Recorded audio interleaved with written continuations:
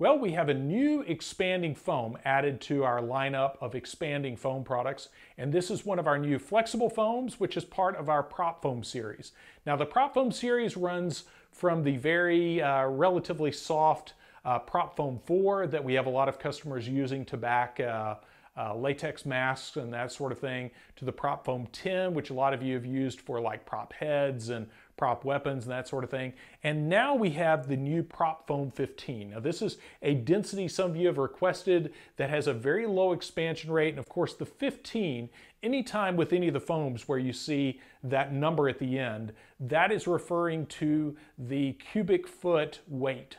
So if you have 15 liquid pounds of Prop Foam 15, that is going to expand in free rise to fill a cubic foot.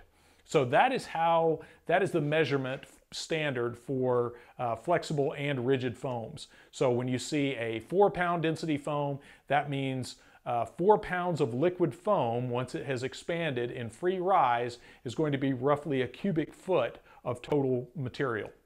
Um, so the benefit to a really dense flexible foam like this is you get a really nice tough skin on the surface. And where this is preferable is a lot of you in the film community that are casting uh, fight scene props and things like that. So uh, pipe wrenches, uh, hand tools, things like that, uh, prop guns, anything that uh, needs to have a really good skin on the surface, but still be made of a, a, a foam and preferably a durable foam material that uh, could be used repeatedly. Now, in the industrial world, we supply this for people doing padding applications and that sort of thing. This is like a, a really dense version of like Nerf foam. In the industrial world, typically you'd find this on uh, armrests in a car, where you have that minimal uh, give, but still a flexible foam material.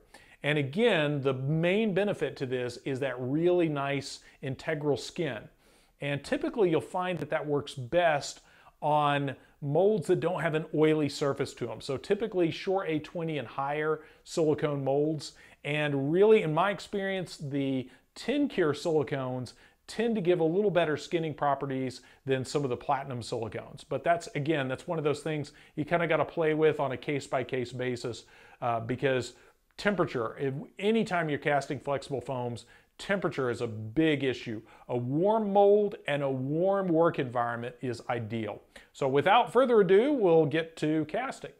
Now first off, some quick setup for this because any of these flexible foams or any expanding foam for that matter sets up quickly just by nat the nature of foam chemistry. They're going to uh, start expanding pretty fast into the pot life. So you want to make sure you have everything ready to go. Now, what we're going to be using is an older mold. One of the reasons I wanted to feature this mold is just because this mold has recently turned about uh, 12 years old. Actually, no, I take that back. I think this mold is now almost 13 years old. Um, you could see the video of us making this on the YouTube elsewhere. But uh, this mold has been holding up great. We use it in a lot of workshops and we've basically cast PT Flex and flexible foam into this repeatedly, and it's still in excellent condition. Now, what I've done prior to uh, the video here is I've gone ahead and brushed in some metal powders into some key areas on this mold. So this is a, a PlatSil 7325 silicone mold. And then we just went in and used some of our metallic powders. This is the gunmetal powder and brushed that into some key areas. And what happens with that is the adhesive potential of the uh, prop foam grabs onto that metal powder and then pulls that out of the mold.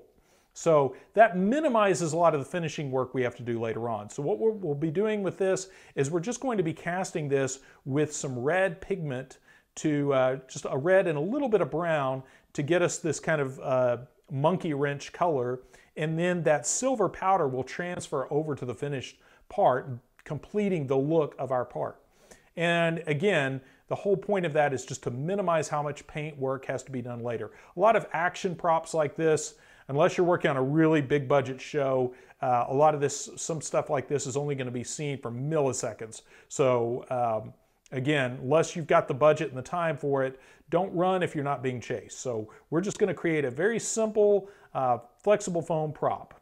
Now, in addition to having all of the components that we're going to be using and our gram scale ready to go, the other thing we want to have ready is our mold straps because we will need to immediately strap this shut as soon as we get our foam poured into this.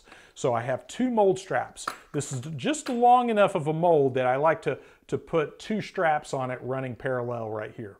So we want to make sure we get this, the, our foam mixed up, poured into the deepest side of the mold, and then flip that, flip this over on it and then flip it over one more time so we get that liquid foam really good on both sides of the mold. And then we're gonna flip it upright once we get the straps on it. And it's just important to have a plan of action for all this because again, that foam reacts quickly. So you want to be, have everything ready to go so you don't waste any time once the foam is uh, starting to catalyze. Now this particular foam, the ratio is 100 parts of B to 40 parts of A. So we're gonna mix up 200 grams of B to 80 grams of part A.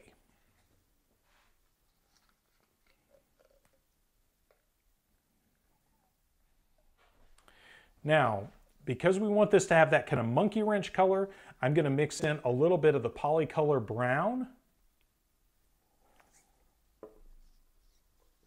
and then a little bit of the polycolor red.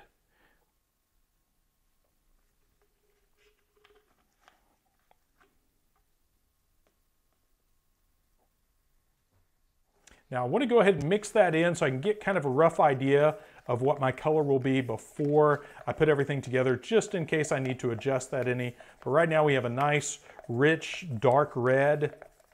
But again, if we need to, we can always um, add a little bit more pigment really up to about 1 or 2% is about the as much as you really want to push some of these pigments. Some are more forgiving than others, but at, when you start getting more than about uh, 1 or 2%, you start to see a change in some of the physical properties.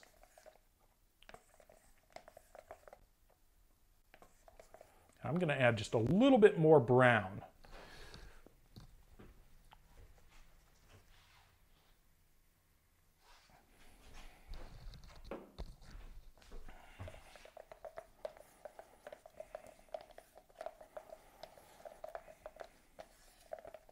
Now, if you're new to this process, if you haven't mixed up some of these products before, especially the foams where time is of the essence, I highly recommend experimenting with some small batches on some test molds before you do anything large scale because again, as soon as we add the part A, that's when the clock starts ticking. So you wanna make sure you have everything figured out and ready to go. And also important to remember that our color will change slightly because the expansion of the foam, what's going to happen is whatever color we have right now, it's going to lighten by a shade or so as it starts to expand. So you want to make sure you compensate for that. You'll need to make your, uh, your base color a little bit darker than you actually want it to be. Yeah. And again, I'm about to add the part A, so I wanna make sure I have all this ready to go because as soon as I put that in and pour this out, I gotta be ready to, to flip all this over and get it, get it ready to uh, strap shut. And since we did 200 grams of part B, we're going to do 80 grams of part A. And again, starting out, when you're new to this, keep a whiteboard handy where you can write some of your formulas down because again, when time is of the essence and you're trying to remember what you've got, it's real nice to have a whiteboard uh, across the shop that you can look at and see exactly what your batch size needs to be.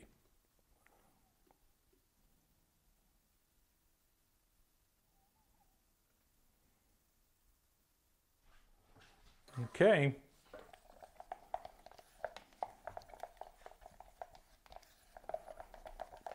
Again, we want to make sure we get that stirred up really well, even though we only have a few seconds to get that done. You want to move fast. And then what I like to do is pour that in all those key areas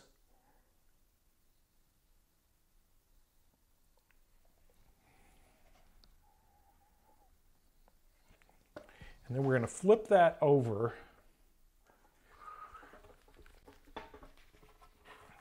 And flip it back this way.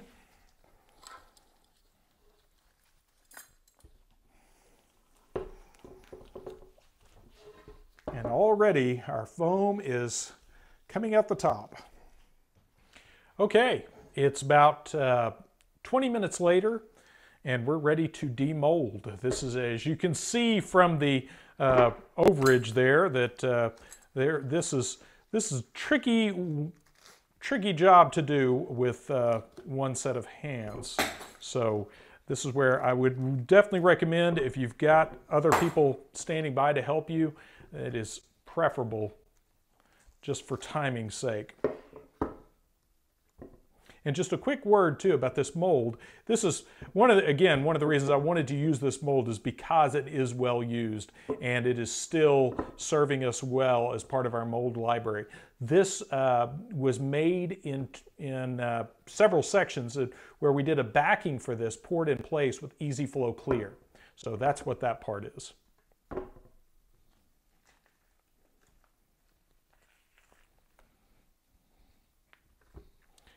And there you go. Now look at that, right out of the, out of the mold, we're gonna have a really nice looking part.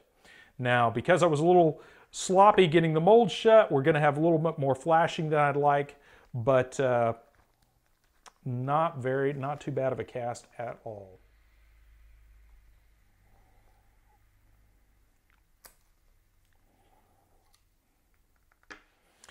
Okay, like I said, I'm, I'm rushing a little bit just for the sake of the video, and I'm kind of excited to play with this new foam, but it's time to carefully remove this and trim off any excess flashing. And you can do this with just a standard scissors.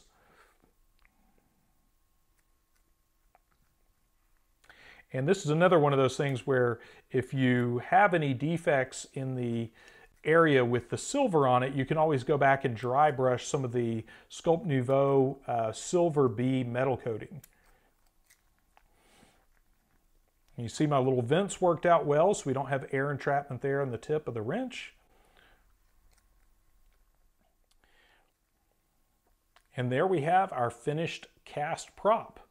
Now this still needs a little bit more cleanup, but for the sake of the video, we're good here. But uh, one last little trick that you can do when you're casting foam uh, props like this because it's sometimes tricky to estimate volume on a mold like this with an expanding material and especially since the expansion rate of the casting foam is going to be different depending on the configuration of the mold. So what you can do is once you've cast a part like this, obviously we had a little bit more than I actually needed. I still have a lot left over in the mixing cup. So what we can do is put this on our gram scale and weigh it, and now we know precisely what it takes to fill this mold. And then the next time around, we mix a lot less based on that. Now, you always want to make sure anytime you're measuring out how much material or estimating the amount of material it'll take to fill a given mold, it's always a good idea to add about 10% or so to that just to make sure you have enough for adequate mixing and pouring because you're always going to have a little bit left behind in the mixing cup and a little bit of spillage coming out the sprue. And with foam, you want just enough material to build up a little bit of back pressure in the mold. If uh, you just barely have enough to fill the mold, sometimes you don't build up a really good pressure to get a nice skin on the surface. So again, you want just a little bit more than the exact amount required for the part. So there you have the process of casting a prop wrench using the new Prop Foam 15. And you can see now that this is set up a little bit more, it's not as uh, floppy. Um, this is a good hand prop, good weapon prop for fight scenes and that sort of thing. Uh, and again, realistic enough that uh, you throw this at somebody, they're definitely gonna move out of the way.